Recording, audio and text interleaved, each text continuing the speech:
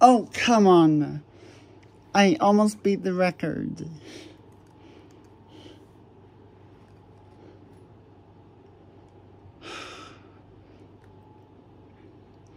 Meanwhile, look at Wario and Toad.